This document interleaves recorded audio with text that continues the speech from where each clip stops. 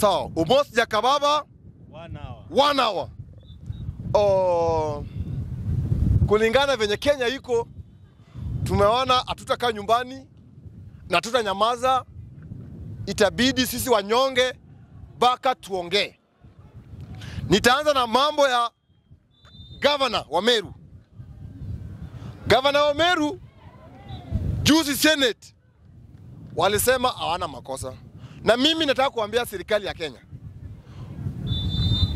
mimi nafikiria kama Moshi mwenye anajua shida ya raia ya chini ni MCA, mwenye anajua shida ya mtu wa chini ni MCA. MCA ni MCA wa ward, which means ende mtu wa kwanza raia kumfikia. MC, nini, MC akiona makosa, anaambiwa makosa na ende- karibu na watu wa chini. Akisema mtu ni mbaya, Senate wanakataa. Na tumeona hii mambo ya, hii mambo, ya MCAs.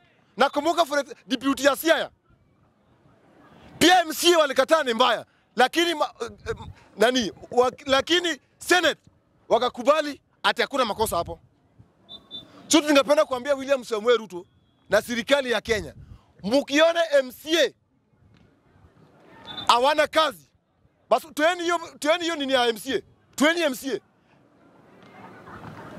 MCA anajua mambo ya chini, na MCA akiongea mambo yao yen- yen- yendi through.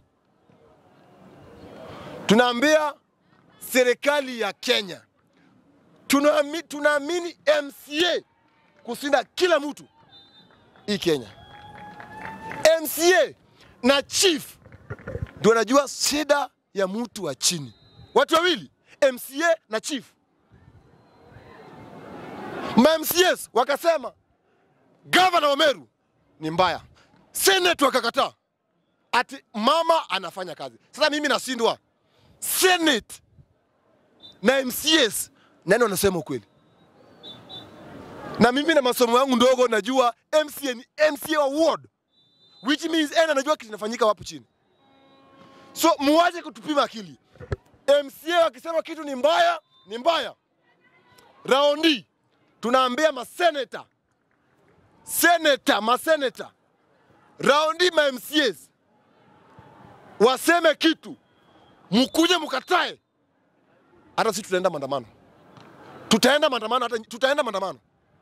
Ma ma MCAs wanatusaidia, wanajua masida zetu, wakitoa mtu ni mbaya, seneti wanarudisha. Ingine nikimalizia, leo sitaongea saa, leo ni Sunday. Aguambo, Ting'inyi,